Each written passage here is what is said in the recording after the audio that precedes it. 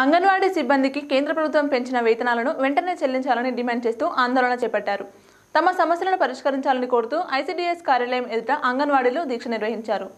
భీమ్గల్ మండలంలోని ఐసీడీఎస్ కార్యాలయం ఎదుట అంగన్వాడీ సిబ్బంది తమ సమస్యలను తక్షణమే పరిష్కరించాలని కోరుతూ దీక్ష చేపట్టారు.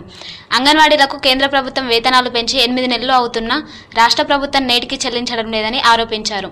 పైగా ఇప్పటికే రాష్ట్రంలో అంగన్వాడీలకు ఎక్కువ వేతనాలు ఇస్తున్నామని ప్రభుత్వం చెప్పడంపై మండిపడ్డారు. అంగన్వాడీ సిబ్బందిని ఇప్పటి వరకు పర్మనెంట్ చేయలేదని కనీస వేతనం అమలు చేయడం లేదని అన్నారు.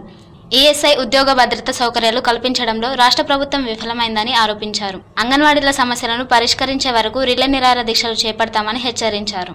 కేంద్ర ప్రభుత్వం పెంచిన వేతనాలు ఎనిమిది నెలలు బకాయి వెంటనే చెల్లించాలని అంగన్వాడీ టీచర్లకు నెలకు ఇరవై ఐదు వేల వేతనం ఇవ్వాలని అలాగే ఆయాలకు పదిహేను వేల వేతనం చెల్లించాలని ప్రభుత్వాన్ని డిమాండ్ చేశారు.